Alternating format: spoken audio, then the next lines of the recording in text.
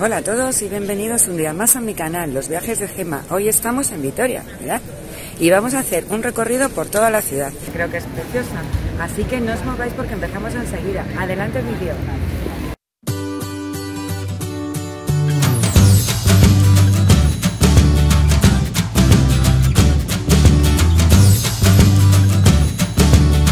Ven a conocer el mundo conmigo.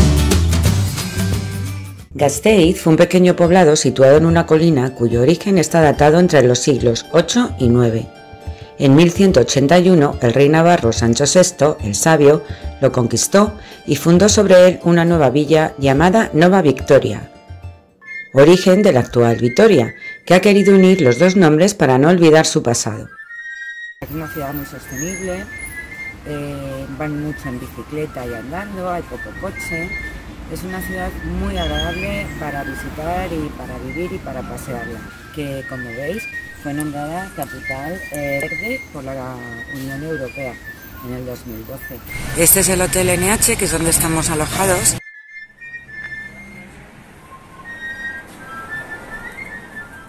Entramos en la habitación, es bastante amplia. Estas son las vistas, son muy bonitas, la verdad. Hay una cafetera en Espresso. Está dentro de los estándares de, la cadena NH, o sea que está muy bien. Pero eh, lo que tiene también muy bueno es la ubicación, porque está eh, situado justo enfrente del Parque de la Florida, que es uno de los parques más famosos de Vitoria, por no deciros el, el, más famoso del centro de Vitoria. O sea que está en un sitio muy bueno. Luego simplemente atravesando el parque así en línea recta hacia adelante, ya entramos en todo lo que es el centro. O sea que estamos muy cerquita, cinco minutos caminando. O sea que yo sí que aconsejo este hotel por ubicación, sobre todo, bueno, porque el hotel está muy bien también, pero la ubicación está genial. Estos son los pajaritos que hay en este parque. Este es el paseo de Eduardo Dato y aquí tenemos la escultura dedicada a él. Y este edificio de enfrente es la sede del Parlamento Vasco. Vitoria tiene también un moderno tranvía.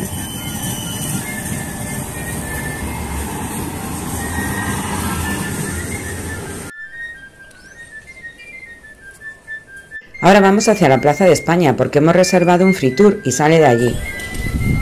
Por aquí vamos a la Plaza de España.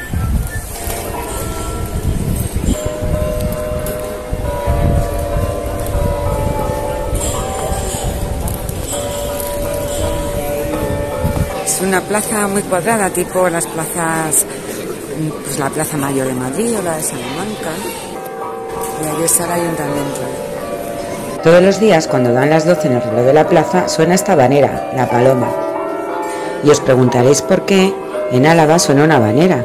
Pues es en honor a su compositor, Sebastián de Iradier, a la vez nacido aquí, en Vitoria, cuya canción, compuesta hacia 1863, ha dado la vuelta al mundo. Aquí enfrente está la oficina de turismo, que es donde hemos quedado para hacer el free tour. El free tour, como su propio nombre indica, es gratuito, pero al final se le suele dar una propina. Estamos en la Plaza de la Virgen Blanca. Enfrente tenemos la iglesia de San Miguel Arcángel. Tenemos en el centro el monumento a la batalla de Vitoria, que conmemora la batalla que tuvo lugar aquí el 21 de junio de 1813, que puso el punto final a la guerra de la independencia de la ocupación francesa en España. Por este lado están representados los vencidos, los franceses, y por este otro los vencedores. Aquí, a caballo, el general Álava, las tropas españolas, británicas y portuguesas, y arriba, también a caballo, el duque de Wellington, gran enemigo de Napoleón. Tras esta victoria, Napoleón no tuvo más remedio que devolver la corona española al rey Fernando VII. hay un trenecito para recorrer la ciudad. La verdad es que la plaza es preciosa, mirar los balcones, qué bonitos. Las balconadas estas acristaladas, está precioso.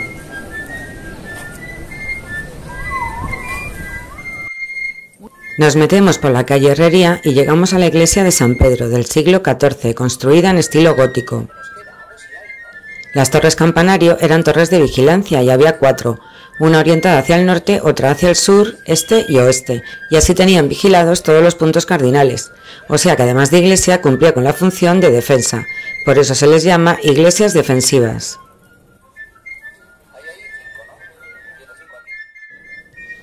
Justo al lado de la iglesia está esto que nos sorprendió mucho. Son pasillos mecánicos para subir al centro de la ciudad, al casco antiguo.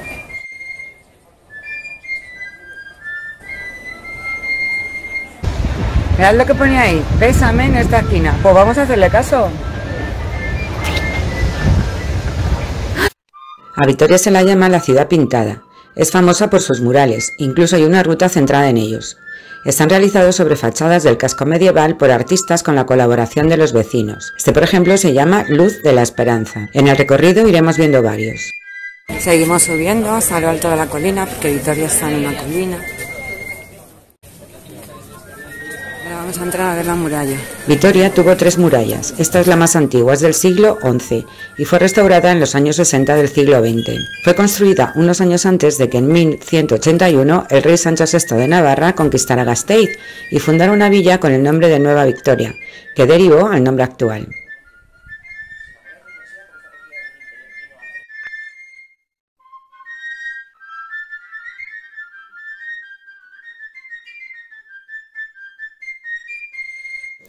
En los jardines de la muralla se encuentra otro de los murales, el llamado La Noche Más Corta.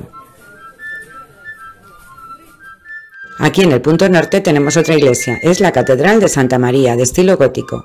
Corrió peligro de colapsar, por lo que lleva muchos años en obras. Tenemos reservada una visita guiada, así que luego venimos a verla por dentro.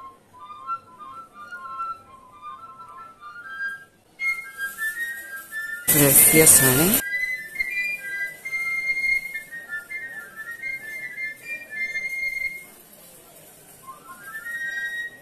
Volvemos hacia la muralla y encontramos el Palacio Escoriaza Esquivel, un edificio renacentista del siglo XVI. Su propietario, Fernán López de Escoriaza, era el médico de Enrique VIII de Inglaterra y posteriormente del emperador Carlos V. En la portada plateresca se pueden ver los bustos del propietario y su esposa.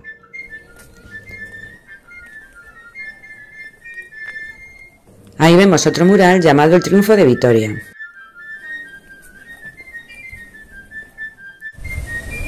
El Palacio de Monte Hermoso. Aquí se alojó Carlos I de España, V de Alemania y vivió José Bonaparte, el hermano de Napoleón.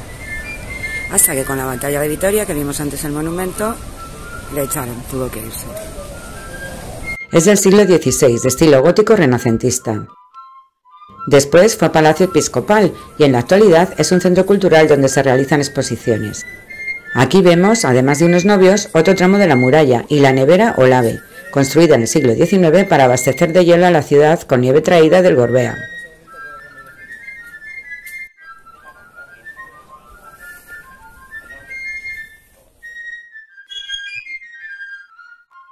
El Palacio Villasuso fue ordenado construir en el siglo XVI por el embajador del emperador Carlos V.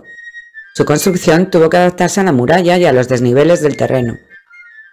Dicen que lo habita un fantasma y actualmente es sede de congresos.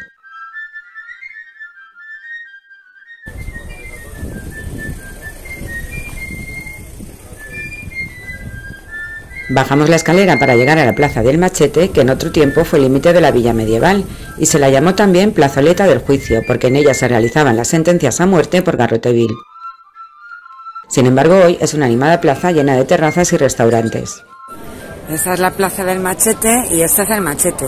Que aquí cuando el procurador, que es una especie de defensor del pueblo, el procurador del pueblo juraba su cargo, eh, leía todo ese juramento que tenemos detrás, que al final dice que si no cumplía bien con sus obligaciones del cargo, le cortaban la cabeza con este machete. A la que os parece, miradlo. Y por aquí volvemos a la iglesia de San Miguel Arcángel. ¿Os acordáis que antes la vimos desde la plaza de la Virgen Blanca? Fue construida en el siglo XIV en estilo gótico renacentista. Se considera bien de interés cultural y monumento histórico-artístico nacional. Aquí tenemos a la Virgen Blanca, aunque la imagen no es original, es una copia, pero fijaos qué bonita es. La original está en el Museo de la Catedral Nueva. Y aquí estamos con Celedón, un personaje muy famoso y muy querido en Vitoria. Bueno, pues la historia de Celedón es muy curiosa porque todos los años, el día 4 de agosto, inaugura las fiestas de Vitoria y lo hace saliendo de esa ventana que vemos ahí, baja como en una especie de tirolina, cruza toda la plaza y llega hasta aquel edificio amarillo de enfrente y entra por el balcón del primer piso. Después sale, pero ya sale convertido en persona. Es muy curioso, o sea, mm, quieren representar que este hombre que era muy fiestero, le gustaban mucho las fiestas de Vitoria, pues baja todos los años del cielo para asistir a las fiestas. Aquí es curioso, pues nada, si os apetece ya sabéis, podéis venir a verla en directo el 4 de agosto de cada año. Eso sí, venir a coger sitio con tiempo, porque esto nos han contado que se llena a tope esta plaza. Aquí termina el free tour y ya seguimos por nuestra cuenta. Y tenemos la iglesia de San Vicente, que es otra de las torres que servían de defensa de la ciudad.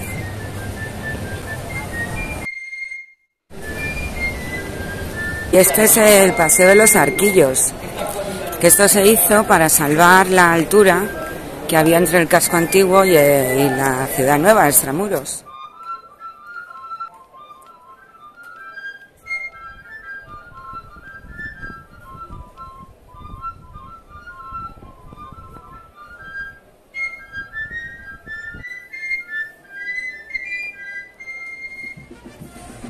Mirad, aquí tenemos el Centro Memorial de las Víctimas del Terrorismo, que tiene la función de difundir valores democráticos y éticos y concienciar a la población. Es un edificio de 1920 de estilo renacentista.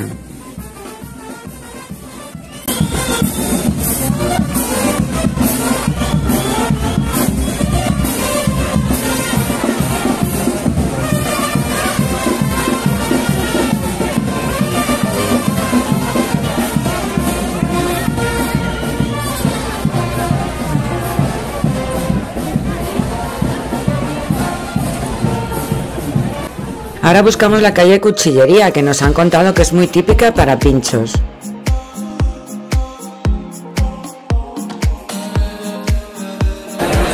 Pues sí, esta es la Cuchi, como la llaman aquí los vitorianos.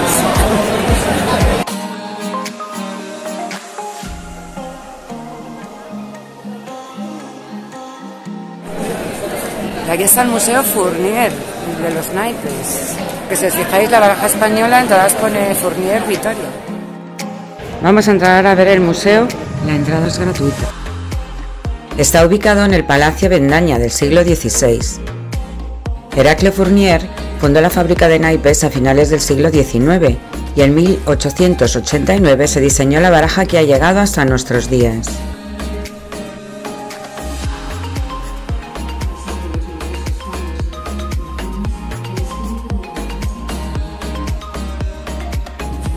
Aquí tenemos un busto de Félix Alfaro Fournier, que fue el nieto de Heraclio Fournier y el que le sucedió. La colección del museo se inicia en 1916 y la inicia el nieto de Heraclio, Félix. Están las planchas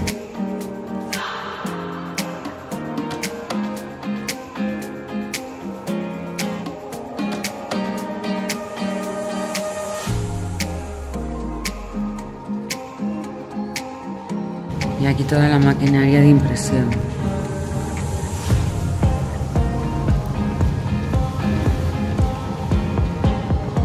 En el museo se puede ver la evolución de los naipes de todo el mundo, desde el siglo XV hasta nuestros días. Estos naipes son de 1863. Las cartas que hay sobre el fondo verde son de 1440. Y estas que hay más abajo son del siglo XIX. Y aquí tenemos cartas del tarot. El tarot, según he leído, tiene una información que hay, surgió en Italia, aunque se cree, pero el origen es desconocido. Volvemos a salir a la calle Cuchillería, pero vamos a buscar otro sitio para comer porque este está a tope. Aquí tenemos otro de los murales, la verdad que son preciosos. Nos han contado que los hacen entre la gente de aquí, en Victoria, y que los respetan muchísimo. Como veréis no hay grafitis ni nada, los respetan mucho. Otro mural. Ah, qué bonitos son. Solo si amamos nuestra tierra podemos amar otras tierras. Buen mensaje, sí señor.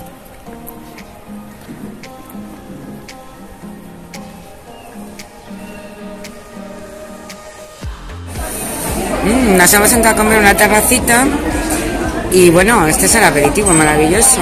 Unas quisquillas riquísimas. Y ahora cambiamos de sitio. Estamos en el restaurante Perre Chico. Este pincho no sé exactamente de qué es, pero está buenísimo. Eh, aquí tenemos un changurro que tengo muchísimas ganas de probarlo porque lo comí hace tiempo, pero la verdad es que ya ni me acuerdo y sé que me gustó mucho. Así que aquí tenemos el changurro y por este lado en una teja ensaladilla rusa. Así que nada, vamos a atacar. Ahora ya vamos a ver la catedral por dentro con el programa de visitas guiadas abierta por obras. Se entra por detrás, por la plaza de la burulería, que es el nombre que se daba al oficio de tejer telas bastas, paños y sacos. En ella hay edificios medievales como el del restaurante El Portalón, donde vendremos luego a cenar. Aquí también hay un mural llamado Al hilo del tiempo, que representa el oficio que se realizaba en esta plaza. Ahora hay que subir unas escaleras y en esta placita está la entrada para hacer las visitas guiadas a la catedral. A la derecha vemos las campanas de la torre que están en espera de su restauración. Aquí está la estatua de Ken Follett, el autor de Los Pilares de la Tierra, cuya segunda parte, Un Mundo Sin Fin, está basada en la reconstrucción de esta catedral, y por ella pasó tiempo en Vitoria, por lo que la ciudad le ha dedicado esta estatua. Iniciamos la visita entrando por una calle lateral directamente a la base de la catedral, donde nos explican todo el proceso de reconstrucción que se está llevando a cabo porque el templo literalmente se caía. En 1994 tuvo que cerrarse al público y está en obras desde el año 1999. Tenemos que dejar de grabar, solo permiten fotos. Las obras han permitido no solo salvar la catedral, sino además conocer en profundidad los orígenes de la ciudad con excavaciones arqueológicas, representándolo aquí en maquetas. Esta es la cripta. Si habéis leído el libro El silencio de la ciudad blanca, es aquí donde aparece la primera pareja asesinada. Aquí podemos ver la antigua muralla de Gasteiz y el foso que rodeaba la aldea. Seguimos subiendo hasta contemplar la bóveda del milenio, formada por 348 bloques de piedra caliza. La sustitución en el siglo XV de las bóvedas de madera por otras de piedra para darle más solemnidad dañó gravemente la estructura, lo que con el tiempo provocó que llegase casi a colapsar. La catedral era parte del recinto defensivo y se ve por ejemplo aquí en el paso de ronda. La particularidad de esta visita guiada es que te permite acceder a lugares que normalmente no se visitan en una catedral.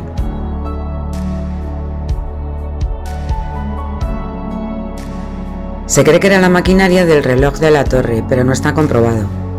Y ahora vamos a subir a la torre. Hay un ascensor, así que es muy práctico, porque pues se puede subir en el ascensor. Desde la torre hay unas vistas espectaculares de toda la ciudad, mirad. Para finalizar la visita, junto al pórtico principal en la capilla de Fernando de Paternina, hay una proyección audiovisual que recrea la policromía que tenía la capilla en su momento. Merece mucho la pena verla.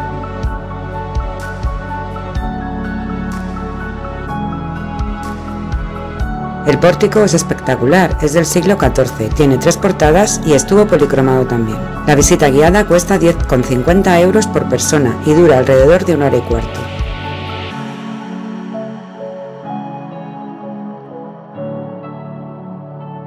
Esta es la entrada principal, pero, pero está cerrada, o sea, solamente se puede entrar para hacer las visitas y se entra por detrás y por aquí se sale de las visitas. Adosada a la catedral hay una pequeña capilla, la capilla de Santiago, que según nos contaron corresponde a la primera iglesia que hubo en Gasteiz.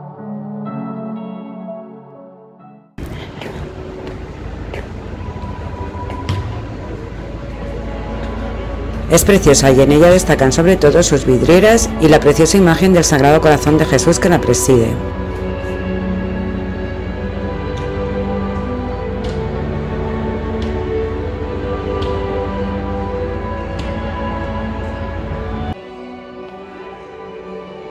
El Sagrado Corazón, qué bonito.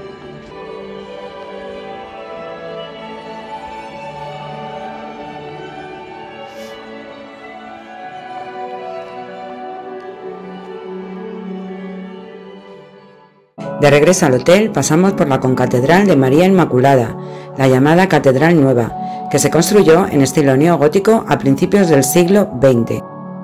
Volvemos al casco antiguo o a la almendra, como lo llaman aquí, para ir a cenar al restaurante El Portalón, que ya os lo enseñé antes, ¿os acordáis? Que está en uno de los edificios medievales en la plaza de la Borulería.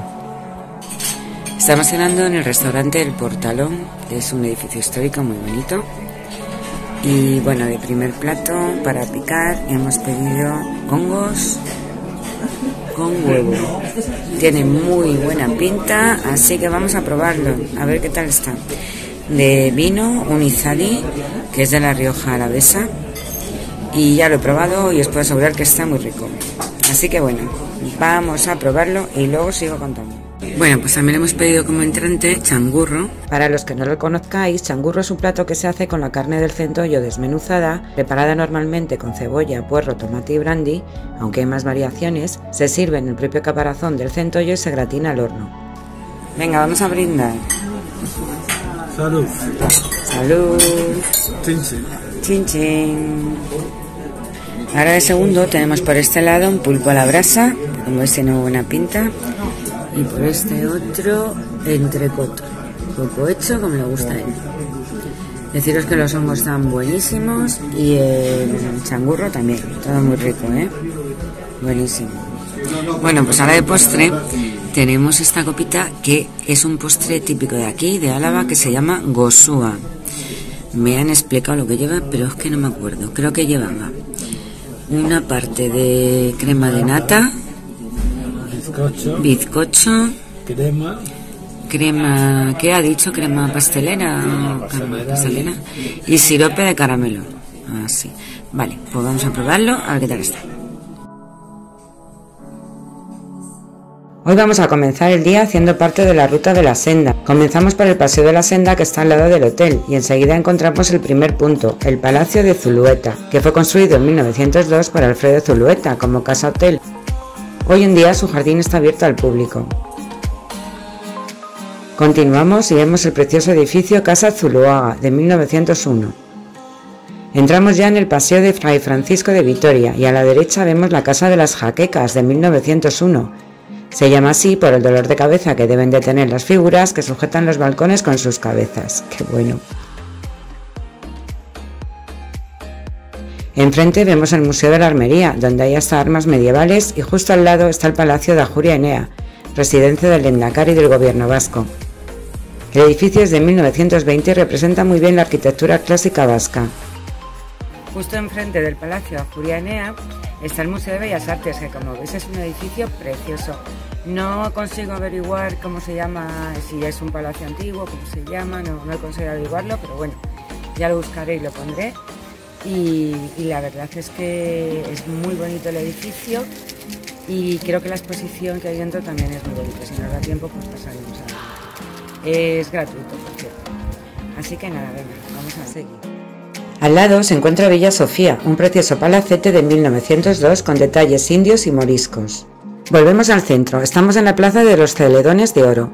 Esta escultura, homenaje a la memoria histórica, está junto al precioso edificio de correos que fue construido entre 1924 y 1928. Ha sido totalmente restaurado y recientemente ha vuelto a operar como oficina central de correos. A dos minutos de aquí está la Plaza de los Fueros, otro punto importante de la ciudad, donde se celebran actos públicos, conciertos y deporte rural vasco. Además, hay una escultura de Chillida. Pero el vídeo no salió, así que no os la puedo enseñar, lo siento. Y no podíamos irnos de Vitoria sin visitar Confituras Goya, casa fundada en 1886 de la que nos habían hablado muy bien, sobre todo de sus trufas. Así que compramos unas cajitas y doy fe de que están buenísimas. Así que si venís, ya sabéis. Y ahora nos vamos a Salburúa, un humedal de gran valor ecológico que es uno de los parques que forman el anillo verde que rodea la ciudad.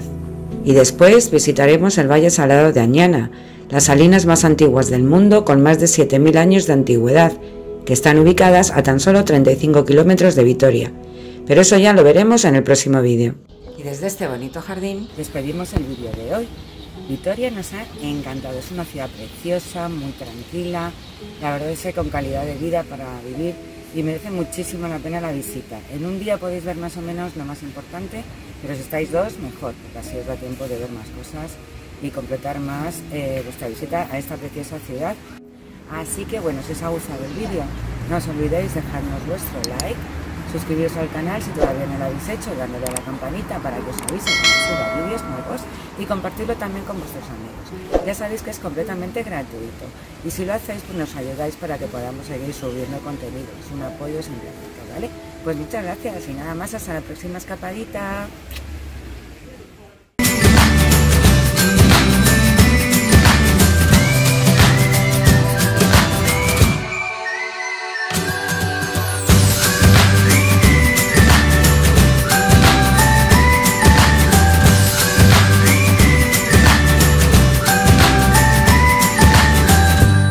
Y recordad que viajar es el arte de convertir los sueños en realidad.